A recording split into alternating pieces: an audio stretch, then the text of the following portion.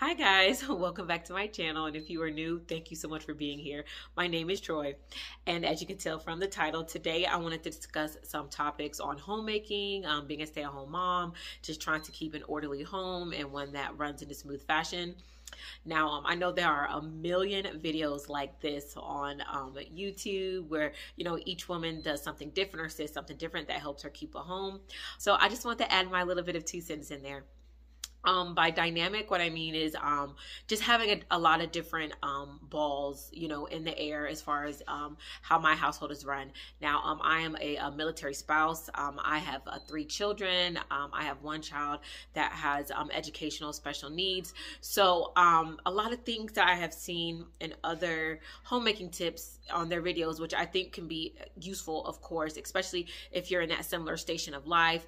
Um, a lot of slow living type of things. If that's something that you're really you know going for i think that's great. Or a couple of things that may romanticize the um, homemaking process which um, if that's something that you need to motivate you i think that's also awesome but as I said, I live a very dynamic life. Um, I can my home can be super traditional, where my husband goes to work from nine to five, and he's available for the weekends to bring home pizza and hang out with the kids. To me not seeing him for a year, or you know, um, he comes home and one day I'm helping him, you know, clean his IBA which is um, just a fancy term for a bulletproof vest. but you know, um, for the mamas that have a little bit more of a dynamic life, um, where you're not, you know, in those early bird, you know, that you know, uh, honeymoon part of marriage, where you're just learning to cook from scratch, or you're just learning to keep schedule, where you know you're at that point where you're a good six years in, and you've got a toddler, and you've got a child in elementary school, and you're just trying to make it all work. I feel like these might be some tips that you could apply that will be extremely useful. So, you guys, let's get into it.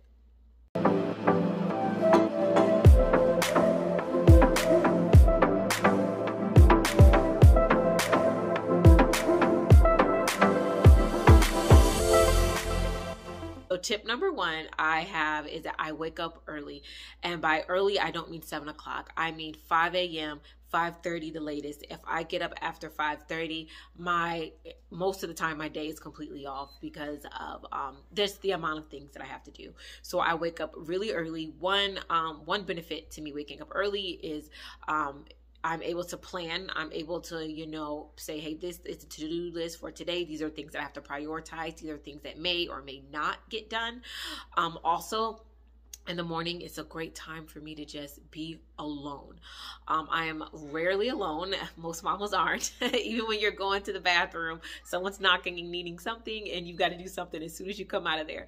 But um, that alone time really helps me focus. It helps me make a plan for the day, and it gives me a little bit of me time to focus on myself so that um, I'm able to give everything that I've got um, to my family for the rest of the day. Now, um, it doesn't look the same every day. Some days I am working out because uh, maintaining my body is super important to me. Um, one day I may just be listening to some sermons because it's just like I know it's going to be a rough day. So I'm going to need the Lord's encouragement. So I'll be listening to sermons or reading my Bible. And then some days, because my husband is in the military, and um, he has a PT every morning. If you're military wife, you already know what that means. And if you're not, that just means uh, soldiers have to exercise every single day. Um, and they get up and they have to, uh, they get up at probably like 4 a.m. So they can just literally exercise for a couple hours before their workday starts. So also that gives me and my husband some time to, you know, just, you know, talk a little bit. I'll make him a cup of coffee and he's on his way out the door. Um, so I don't know if you have a spouse that likes to eat before they work out. Mine doesn't. So like I don't have to make breakfast that early. But um, it just gives us a little moment of time just to speak to each other, maybe reflect on the day before, you know, just hang out a little bit. Sometimes me and my husband will just like catch a really um, something on the news that's like you know, something like that, but just a little bit of time together. But I think it's super important to wake up that early, to set a plan, to get the day started. At the bare minimum, I always cook breakfast before my kids wake up so that I'm not doing that while they're underfoot. Um, so I can help them, whether it's finding a lost shoe. My daughter, um, she's uh, starting to uh, do her hair by herself. So um, that's a, one thing I can check off the list. But sometimes she may need help and I can help her with that. But um, I do like to wake up before my family just to center myself, make a plan for the day. And so if when they do need me, I can have at least one thing accomplished. My um, second tip is to prep everything whatever you can prep in advance try to do that so um, for every family it's different what you do or don't need to have done the day before you know is different um, if I I have children where I'm at the age where I can spend an extended amount of time on meal prep. So I have literally um, in the past I've prepped meals for a month. I have prepped meals for two weeks. Um, if you know if that's what the grocery that I had in the house.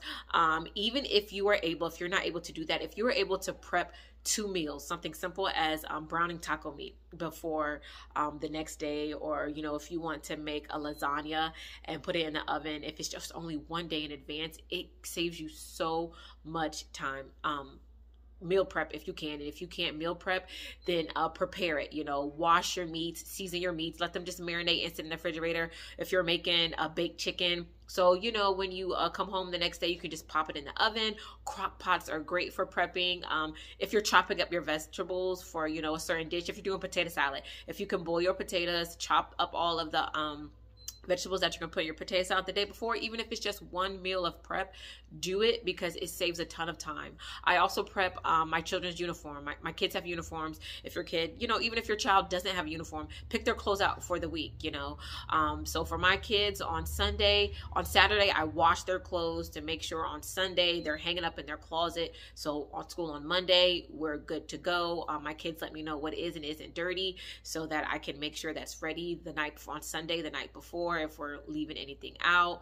Um, and when I say prep, I mean get the socks. Make sure you got the underwear. The last thing you need to be running around at, you know, seven o'clock in the morning because someone can't find socks to go, you know, with their clothes. So just um, anything that you can prep in advance, do that. If you have um, really, really young children, um, if they're on bottle fed, if you can, you know, get the hot water prep, you know, not the hot water, but just, you know, like sterilize the water and have it in their bottles and prep before, you know, a feeding time, just little small things like that. They make a huge difference in time. So um, try to get that done. Even if you can only prep one day in advance, it saves so much time, you guys. So, you guys, my third tip is to have a schedule. And when I say schedule, I don't mean anything super rigid that like there's no flexibility. Um, everyone's life looks a little bit different. Um, if your children have tutoring, then you know those that's going to be part of your schedule, and you know extracurricular sports and things of that nature. But just in general, have a schedule, of, a weekly schedule of what consistently happens throughout your week. Um, when you do that, it's easier prepared to the unknown. It's easier to fit things in into the spaces you know where you have them. Um, like for example, um, with my daughter has tutoring on the weekends or gap I'm able to get a lot done because I don't have to run around town and pick her up from her school. Um, preparing um, dinner and getting the dishes done after that is super easy on that. day. So, you know, when you set a schedule, it's easier to fit things into it and it's easier to maneuver because you don't have like everything up in the air. Um, when it comes to um, setting a schedule, also with cleaning so that things don't pile up. When you have um, very young children, things are super easy to pile up. Um, my children are a lot older, so they participate in age appropriate chores like Windexing the windows and things like that. But um, when you have a schedule, it's easier to maintain the home consistently instead of just everything, you know, you trying to take care of everything in one day. Like for me, um, one thing that I do do consistently is I do one load of laundry a day just so it does not pile up and so I'm not overwhelmed. And that is part of my schedule so that like I'm not trying to do you know like eight loads of laundry on Monday and Tuesday which is my normal laundry day so um, when I just do something little and I do it consistently and I do certain things, then it doesn't pile up by the end of the week or a specific day so that my home is maintained consistently. Now, there are times where you're going to have to do deep cleanings. I don't know if you all do that during the spring or if you do it like every 30 days. Um, I do my deep cleaning um, every change of the season. So when it goes from winter to, you know, spring, from spring to summer, I do a deep cleaning. Um, so just like whatever your schedule is, however your home is, you know, run, however you do that, then, you know, just make a schedule that works for you so things do not pile up. And my fourth tip, you guys, for homemaking is to manage your expectations, and that in turn will help you manage your mental health. Being a stay at home mom and being a homemaker, in my opinion, is not for the faint of heart. It is not, you know, um, it's not a soft life in my opinion. Um, i have three children i have a home i have so many things that i prayed for and it is my responsibility to maintain them and to maintain them to the best of my ability. And um, there is no hacks for hard work to tell you the truth. You know if you're going to be scrubbing the grout in your towel you're going to have to get on your hands and knees and scrub it. There is no easy way to do that and it's going to take hours you know? So manage your expectation. There are going to be days where your house is not going to be instagram perfect because you have tutoring and you have more important things are taking precedent, like helping your children with homework or projects. And then there are going to be days where they're a lot easier, where you worked your butt off this weekend so you can relax a little bit on Monday but um, there are going to be ebbs and flows. But managing your expectations and having realistic expectations for your station in life is very important. If you have a newborn and you're nursing and you're only getting four hours of solid sleep a night, you know what? You're going to have chili dogs for dinner. You're not going to be able to make that meatloaf and that potato, yeah, the mashed potatoes from scratch and do all those things. You're not going to be able to do that on a consistent basis with a newborn. So don't get overwhelmed and don't get discouraged. Um, for women at my station in life, I have a teenager and I have, you know, children that are in school, you know, so I have a lot more time to maintain my home because my kids are not there. But on the flip side, you know, I have to teach them to maintain it. You know, I can't just sit them in a corner and be like, hey, let mommy work.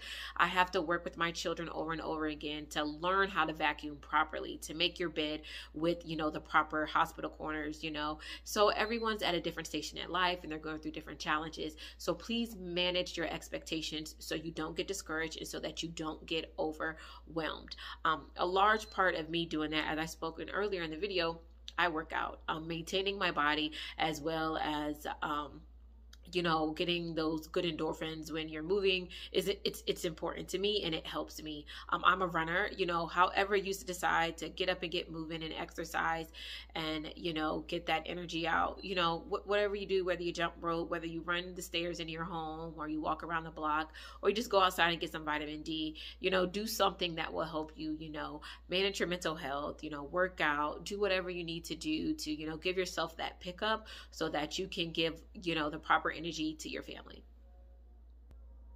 So you guys, we're at the end of my video. I hope the tips and um, the information that I gave you was useful. Um, I hope you all learning a little bit about the dynamics of my life and, you know, how I maintain my home was helpful to you. And hopefully I feel like they can be applied, you know, over all stations of life. You know, of course, you'll personalize them on your own. I hope to see y'all in my next video. Bye.